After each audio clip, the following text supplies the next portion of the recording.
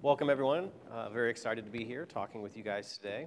Um, we'll talk a little bit about uh, Hearst Business Media and how we've been using tools like Chef to bring the community together.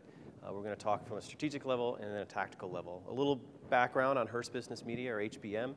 Uh, we have about 10 business units that operate more or less autonomously from one another.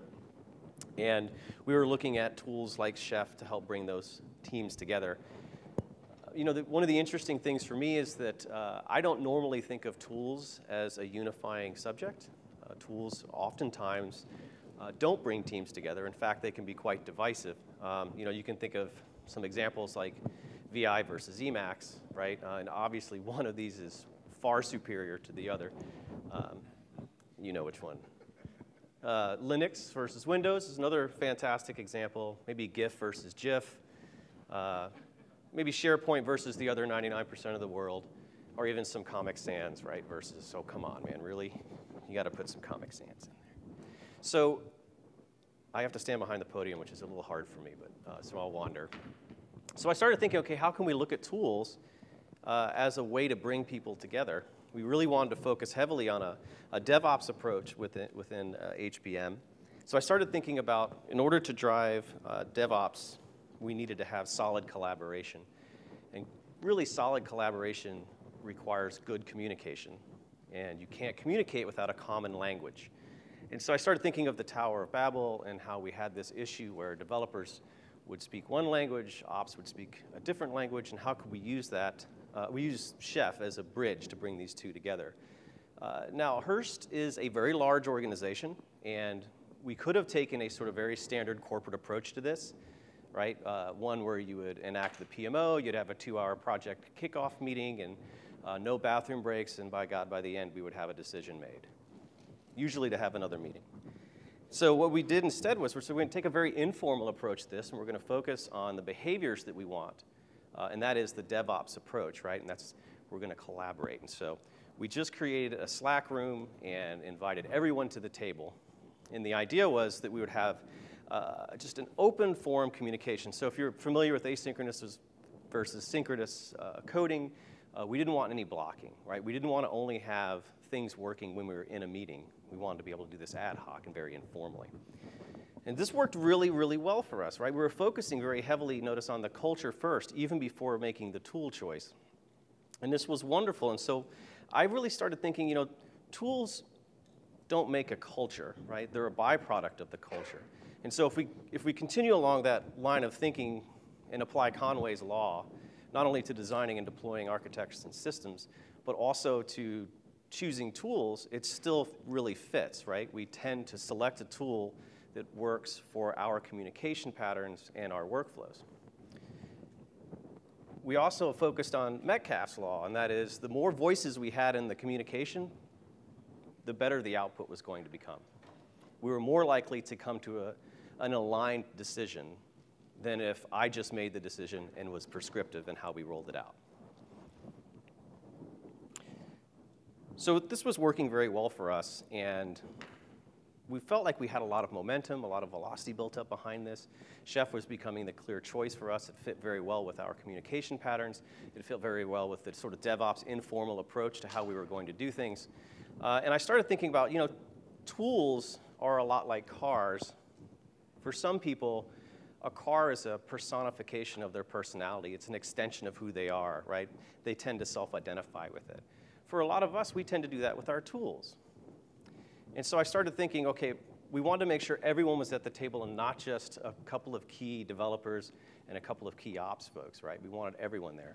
So we made sure folks like support, right? So support was invited to the table and they had a very solid voice. They were very important to this. Developers and operations, of course, were included. And so they were probably the key stakeholders, but they weren't the loudest voice in the room. Sometimes we invited managers, right? And if we could tear them away from leisure pursuits, uh, they were there in the meetings and they came in in a very ad hoc fashion and added a lot of value. Heck, even salespeople were invited to the table. And so it was wonderful for us to have this sort of ad hoc conversation around is Chef the right tool for us? The reason that we ended up with Chef was because we had a lot of common problems across these different verticals inside of the businesses.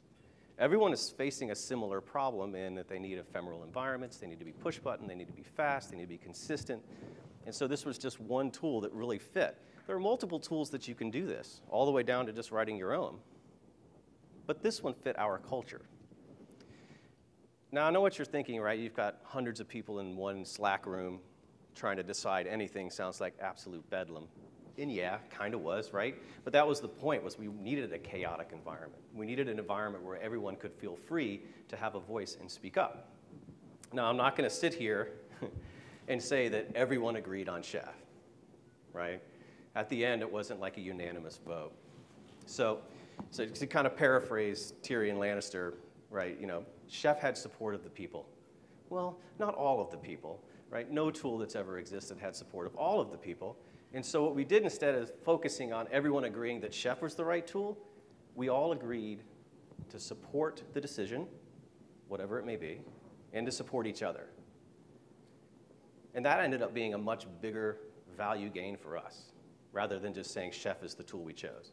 Chef happened to be the tool, right? Because it was well aligned with our objectives and what we were, how we operated. Now that was wonderful and it was a great win for us strategically and culturally. But then how do you tactically deploy Chef to 10 different business units that run autonomously? It's a huge challenge.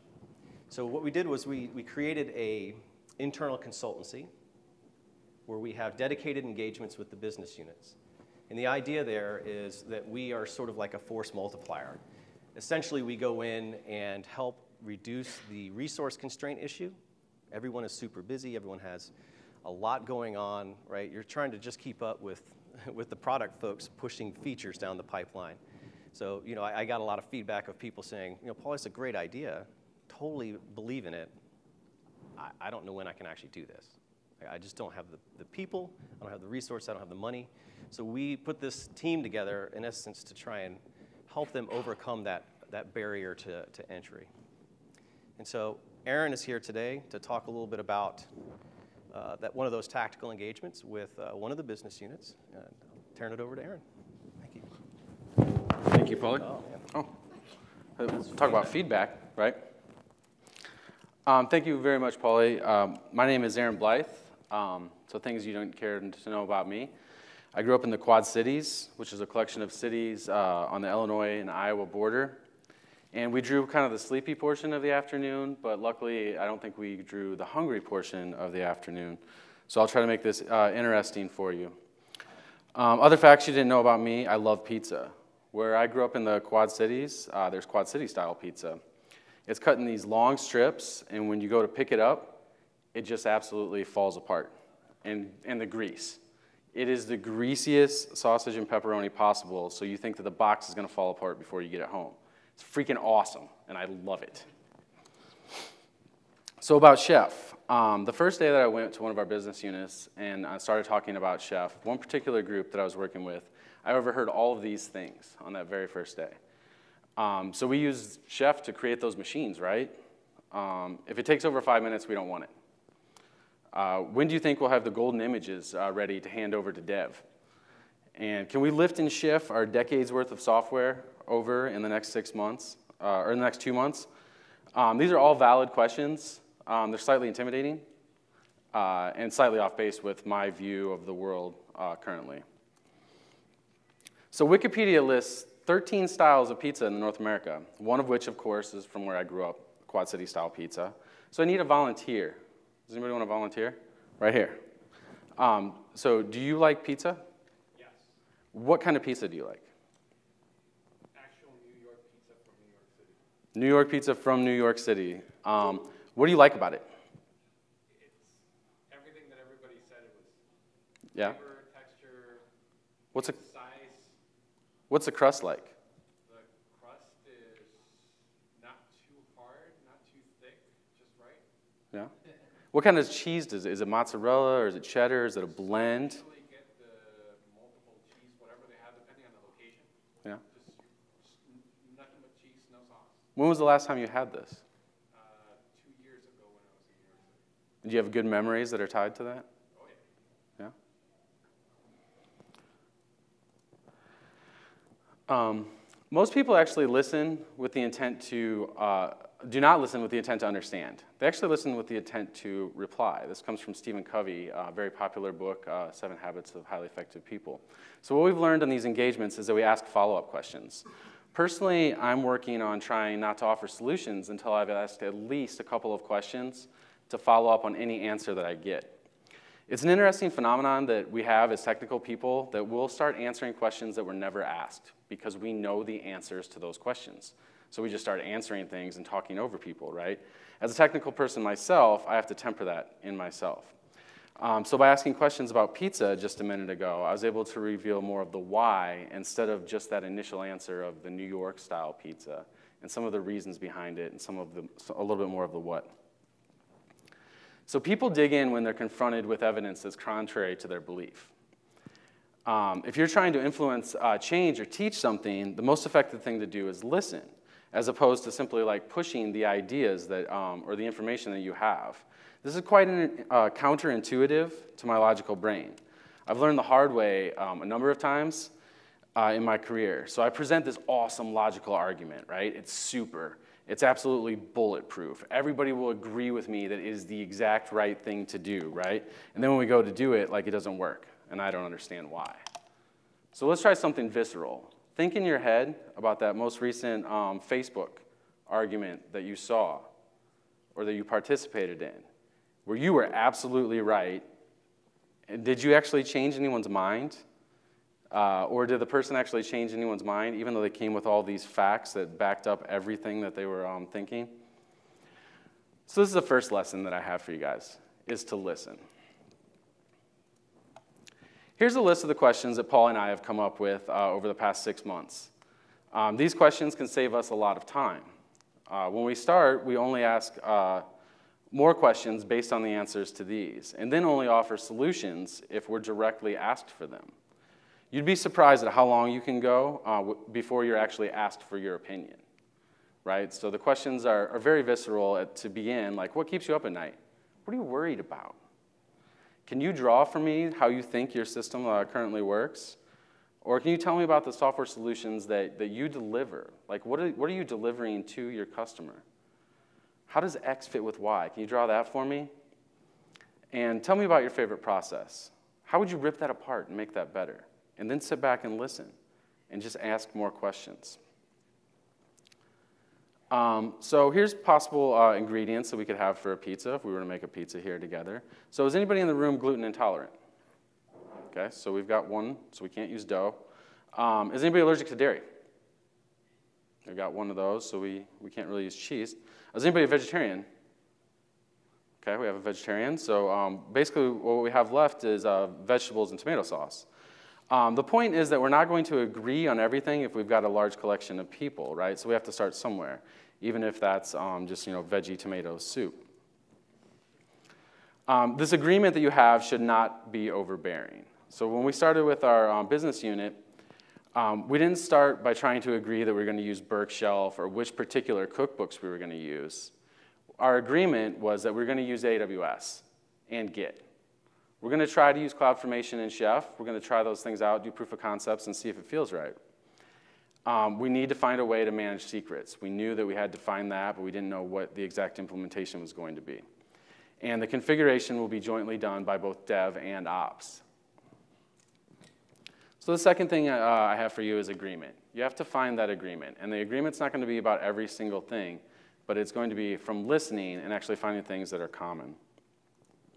So let me Tarantino this for a minute and back up to before we started this engagement um, with our business unit Fitch. There's a lot of groundwork that we laid in the space of education. Um, you have to make sure that somebody on the inside knows what's going on. They need to know the story backwards and forwards, like including what kind of soap is in the bathroom. So we set up education. We led one hour discussion to get our users connected into our Chef server and get ChefDK uh, installed. We did about eight of these sessions, the one hour sessions, um, because we knew that scheduling wise, we wanted to get a large number of people to at least have Chef installed so they could start um, using this. And we did this across all of our business units. Then we brought in um, Chef, um, like educators at Chef, to do a two day course on Chef fundamentals so we could get those um, SMEs or um, subject matter experts that really know what they're doing at each of our business units. And then we had focus sessions with this particular business unit where we, um, we took the Apache cookbook and we did things with it. And then at the end of the two hour sessions, we threw that code away. It was a nice, safe environment where we're creating something, we're learning something, but we don't have all of that weight of, oh gosh, I have to maintain this, and that scares me, and I don't want to make any mistakes. Another thing that we did in the background is we set up uh, Enterprise Chef in AWS. So this is our current architecture for the Enterprise Chef server. We do not manage a back-end Chef server. Let me repeat that. Our Enterprise Chef setup does not have a back-end Chef server. Applause. Um, we're using Amazon RDS and, uh, with Postgres, and we're using Amazon Electric, uh, uh, Elasticsearch Service, and then we just have the front end so that we can, um, we can use that resiliency that's built into AWS, and then we auto-scale those front ends, and we have um, Urchef running uh, up there on the front. So this gives us like all kinds of um, resiliency and the other piece that it gets us is I think we're spending about $100 less um, on, per month on Amazon services to run this. So this is completely open source. You have Levi Smith um, to uh, thank for this. He really likes beer, so if you can find him at the conference, you should buy him a beer and uh, ask him about it. But you can take a look at our CloudFormation template and our cookbooks that help us set Enterprise Chef up this way.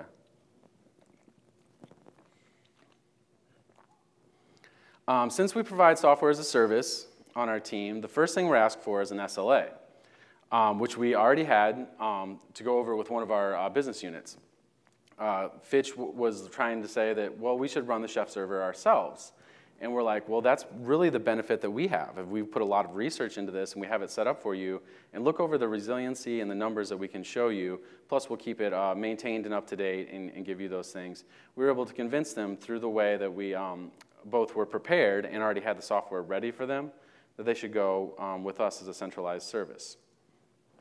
So now for some education on pizza. Uh, Americans eat uh, about 350 slices of pizza per second. It's about 100 acres of pizza per day. Which brings us to our third lesson, which really happened first in the timeline of the world um, that you should educate and enable. Um, for the low price of roughly about three uh, days per person, uh, we at least have this base under, understanding of Chef uh, that we can start to build on as we do our engagements. So after listening, listening, educating, and agreeing, we jumped right in. And this diagram here is purposely rudimentary.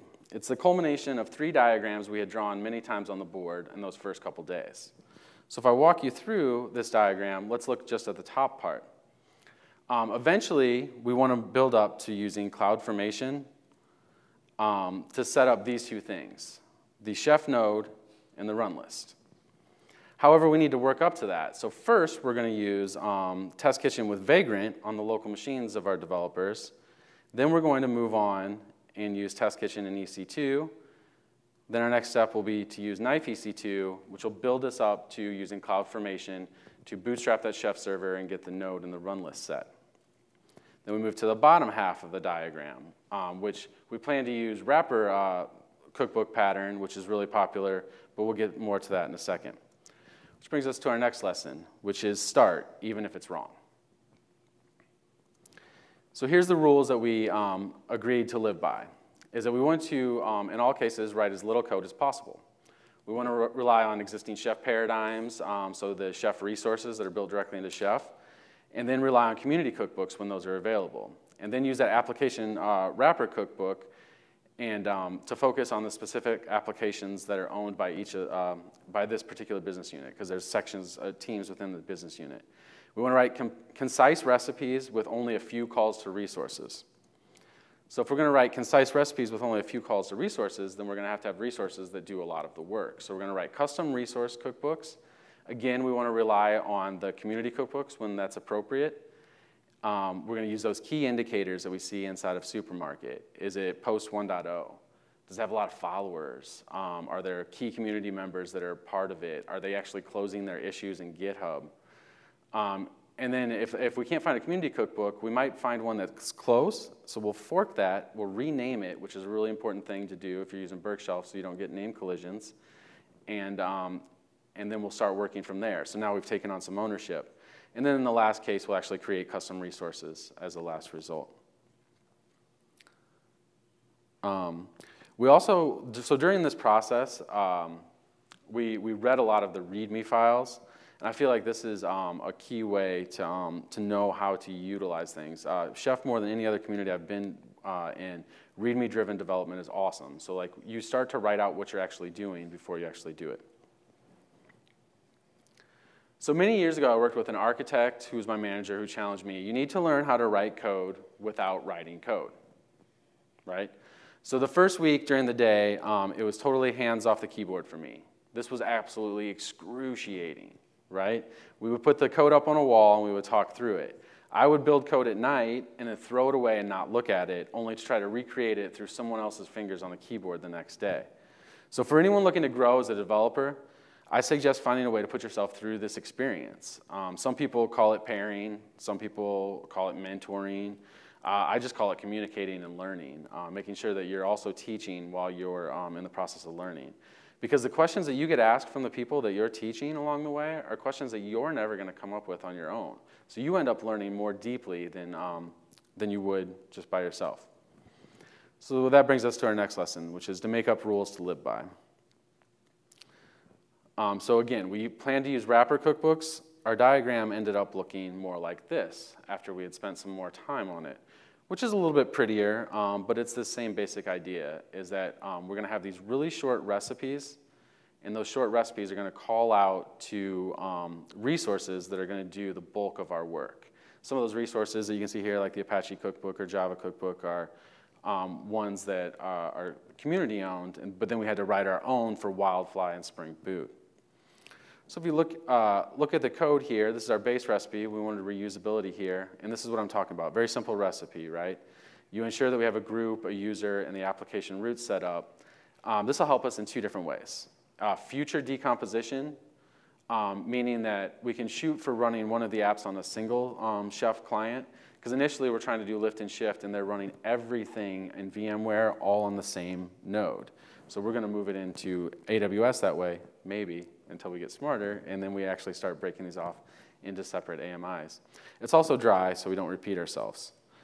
The application recipe ends up having one resource call, but first we do all of our error checking to make sure our environmentals are set. Because it's, um, so we made sure all of our attributes are set to nil or empty string. Then we, we, um, we swing through those and make sure that they actually have something set. Otherwise, we um, error out really early and then we just go straight to the resource. Um, the resource is huge, right? Um, it's where all the logic for installing and configuring our application lives. As you can see, this is a lot of code. Mostly it relies on primitives in Chef like directory, template, service, etc. But it's where the logic is too. So one thing we ran into is that it's really hard to um, consume and test a custom resource when you're using another cookbook. Um, you must check in that code um, and delete uh, the Berksfile.lock and then pull that down or else bump a version. And it gets rather cum cumbersome. So what we did was we switched over and called a, um, a recipe that lives in that custom resource cookbook that lives in the test fixtures um, folder. So that way we've got a cookbook inside of our cookbook that ex exercises our custom resource. So then we can get that development cycle to be really, really fast on our custom resource without having to check out um, all the time on the, um, the wrapper cookbook that's using this custom resource. This gives an incredible lift, and we were able to write resources in a couple days as opposed to you know, fighting with things back and forth and making bad decisions of not putting code in because the cycle is too long. Um, so now that we've worked down underneath, we're going to go back up and we're going to try to build up um, this thing here, where we start with um, Test Kitchen and Vagrant. And then we, um, we take basically the stock Vagrant setup, calling our test recipe, right? And then we move that into Kitchen EC2. As you can see, this gets a little bit more complicated. But one uh, principle that we had here is we wanted to make sure that we don't check in any credentials because we don't want any of that to be in there. So we set environment variables. And so we have a separate, we have a kitchen.yaml and a kitchen ec2.yaml. We set the environment variables that have our credentials on our, um, our local machines. And now we're spinning up EC2 instances, um, just like we would um, from our kitchen uh, vagrant. Then we move to CloudFormation. We exploited the fact that you can use that user data field to deliver bash commands in CloudFormation. Um, However, like if you're familiar with this at all, like it's terrible. There's bash inside of JSON. There's like strings that uh, are executing all of this bash commands. Basically, this had Levi on our team um, pretty much every day, uh, posting things like this inside of our Slack channel about how frustrated he was with strings uh, that were bash inside of JSON. So we cleaned this up considerably um, into four sections. So inside of that bash, we update the OS to get a nice uh, base um, there. We use Ubuntu, our um, business units use uh, RHEL. We acquire the script that's checked in right next to this, and then we set the environment variables for the script to use. Then we run the script, and the script does all of that work. Um, the, um, this is much more ele elegant, but this is still kind of no punk to work with. So we have this also open source and checked in uh, into GitHub. So this script um, that, that sits next to the JSON is now testable as long as we set those environment variables on an EC2 instance. So we can just spin up an EC2 instance and we can run that script and it's going to um, bootstrap into the Chef server, set the run list, um, and get us actually up and going and have our cookbooks um, there and available. So I've shown you enough code. Uh, almost all the code that we write uh, in this space is open source. You can, it can be found on github.com slash Hearst uh, AT for automation team. So this is what we ended up with, um, and we were able to actually spin up um, the application, um, which was pretty cool. Um, the Quad Cities also lays claim to being the origin of taco pizza. So we're like, we're an awesome pizza town, right? Um, which is something that I've actually loved uh, since I was growing up, and still to this day, I love taco pizza. Um, Happy Joe's created taco pizza by mixing two things uh, that were never intended on being together, tacos and pizza, right? Um, so sometimes you need to actually fork something um, that's super awesome and then make it better. Um, so that brings me to uh, my next lesson is be agile and break those rules that you just created. Um, so in some cases, the community cookbooks that we started with, they didn't suffice. So we started um, forking more and more of those because we were more and more comfortable um, with Chef. And this got us up and running really quickly to get something running, but then it also helped us move quickly throughout time. For the second week that I was up there doing the, um, the engagement with um, Fitch, we didn't have a room, so we were in this library, right? Fitch has been around for um, like 100 years, right? And they used to publish these volumes that you can kind of see off on the side of ratings uh, in a yearly type of um, book that would, that would go out, right? Um, and they've moved um, awesome with technology as technology has moved through the years. Um, I remember seeing a lot of books like Cold Fusion laying around, and now they um, are banging all these awesome um, Java apps and stuff. So th they were um, in no way scared of actually making um, this move um, to DevOps. So the new rule that we created was around run lists and environments. So this is my fourth ChefConf that I've been to, and every year there's like role bashing. I haven't heard it that much this year. Um, I used to love roles. I think that um, some of the chef success engineers could tell you how I loved roles too much because we created this monster at my last job where we had like way too many roles or whatever. But I can see how they could be overused and stacked on top of each other and create a huge mess. So our rule was that we were going to use a base role for the, um, the infrastructure layer to help us set up all the things um, the way that we wanted for security and for our system admins. And then we, for the application cookbook, if there's any attributes that we needed to use, we would use environments. Um, and that way, um, we only need um, to come together at that environmental level. Um, so my next rule is to foster open communication. Um, an interesting thing about Fitch is that their dev is in Chicago and their operations um, runs in New York. So by asking these three questions, um, more answers have come from people working together than I have actually provided myself. Remember, I'm neither on these teams, uh, nor am I like the proverbial like understander of all the things. Like a lot of times people ask me questions, and since I work remote, I'm looking that up on Google. That's what I'm doing behind the scenes. I'm not some oracle by any means. So the questions are fairly simple. Um, that's a great question. Can you ask that in uh, the specific Slack channel associated with that? Excellent. Um, where is that code checked in so we can all see it? And um, do you know if there's a Confluence doc for that yet? And then my final um, guide is pivot. Start answering questions with uh, questions. So for, for this, I look to like my favorite guy, Socrates, right? Um, I cannot teach anybody anything. I can only make them think. Um, or Ted, like, all we are is dust in the wind, dude. Sorry for the younger folks. This movie was huge when I was a kid. Like, it was awesome. Um, so, by the way, I'm the co organizer of DevOps Kansas City, and our registration and call for papers is open, and we'd love to um, have you guys come out to Kansas City. If you happen to be in KC, uh, look me up. We have Minsky's Pizza. Uh, my favorite on the menu is their cheeseburger pizza. The menu says the sauce is sweet, but I'm pretty sure that it's ketchup and mustard, right? And of course, there's hamburger um, onions, pickles, um, and pro tip, it doesn't say it on the menu, but if you ask, they will put bacon on it to make it a bacon cheeseburger pizza, which is like super awesome. Um, and for those of you that believe this presentation was um, a little too heavy on pizza, I want to remind you that your company or you paid a lot of money to come to a conference on Chef, which has all sorts of food memed uh, things. So uh, none of your non-technical friends are going to know what the heck you were talking about when you come home and say you went to a conference on chef, so at least you learned a couple things about pizza. and that's all I have. I'm interested in what you guys think.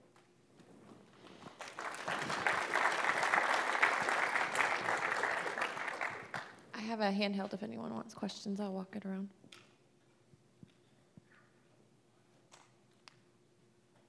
All right. So do you use roles at all anymore? Because it doesn't seem that they're, Um, well, except for the base role, but besides that, are there roles anywhere else?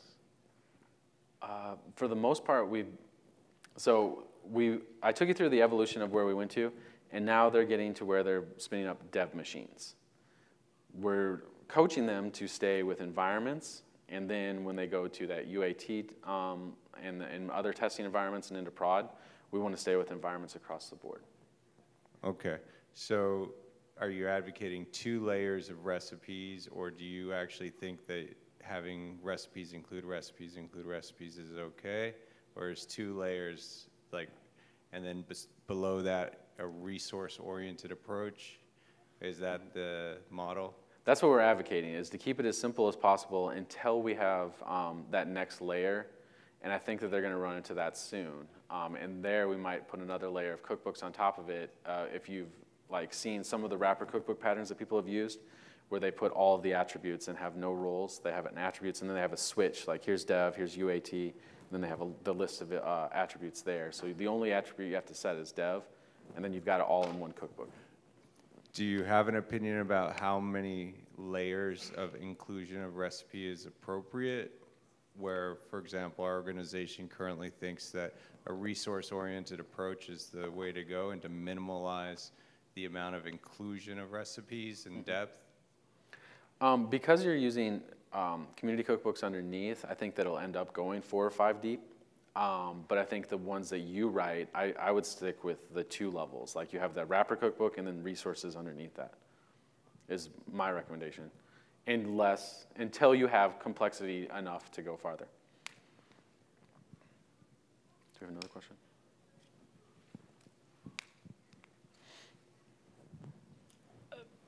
looking at this, uh, I think you've progressed quite a bit in terms of evaluation of chef, right? So I just wanted to understand if you have figured out any other use cases uh, in terms of using chef, uh, and where else could be could it be used other than its core thing of config management?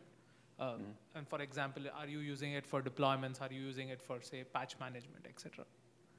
Um, for the, the core Chef project, uh, product, um, like the, the Chef client, that's actually something that I didn't put in the slides, but it's something that we talked about a lot with this business unit is um, you see all of these things that Chef is used for or whatever, um, and we kind of knew that there's, there's more products that, you know, they talked about um, this morning use the chef client for what it's intended for, which is configuration management, and try to, to box it into that. And then use things like CloudFormation to do your orchestration and, and deployments, because you're going to have to pull in all of the, um, uh, the networking and, and all that stuff. So we want to make sure that it, it is code and it's, it's checked in, But again, we want to keep it simple. I would add one thing to that. I've, I have seen an organization use it uh, almost as a CDN. Um, Chef's not that great at pushing large binaries, uh, especially if you're using hosted Chef. And so, again, I think to Aaron's point, right, think about the core competency of the product. we do use it for compliance, we do use it for some patch management, and it is something that we're looking at actually adopting more of. Uh, trying to figure out how it fits our specific patterns at Hearst Business Media. We have three verticals. We have we have transportation, we have finance, which is Fitch, and, and then we have healthcare. And all three of those have very differing needs, right? Especially around compliance uh, and regulatory issues. And so, uh, trying to find a way for Chef to help with patch management. And we also are a heterogeneous environment. So, uh, we're probably 80% Windows, 20% Nix-based systems. Um, that is kind of shifting, maybe more towards the open source and Nix-based systems as we move along 2016 and into 2017. Uh, certainly, new projects are predominantly in the cloud, using things like Lambda and, and, and others. And so um, that produces yet another challenge of okay, how can we gain consistency for patch management and compliance? Uh, and it's something that we're working very closely with Chef on, uh, specifically around the healthcare units that require HIPAA and PHI, right? When you're dealing with EMR and electronic uh, medical records, uh, that's a very sensitive uh, area, and those compliance, those compliance tactics have to be very tight because once you go through an audit, they can be quite painful if, if you don't have everything buttoned up. Thank you.